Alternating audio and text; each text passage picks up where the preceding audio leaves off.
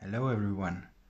This is just a short follow-up video from my last video and what I will show you now is I have connected to my circuitry the same as my last video a Rodin coil and let me show you it looks like this and I've connected it exactly the same to the same circuitry that I used to pulse the other bifilar coil. So this Rodin coil is also bifilar wound and it actually doesn't matter what the shape of the coil is as long as it's bifilar and it will produce exactly the same effects and for this to demonstrate I have here again this neon bulb and if I touch it with my finger from the left hand it will light up again like you saw in the last videos. And what I've also noticed is um, it doesn't really matter which metal surface I touch like this soldering iron it's not powered on of course but just the metal that I touch and it lights up or I have here this piece of orgonite and this is copper.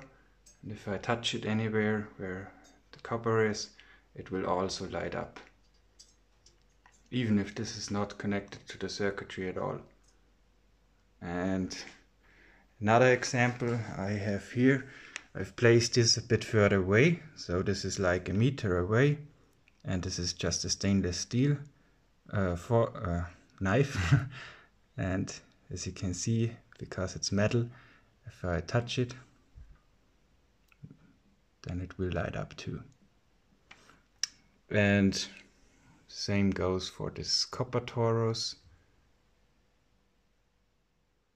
So from what I've seen the length of the cable is what limits it right now but if I would use a longer cable it would work further away of course so yeah, the distance is not important.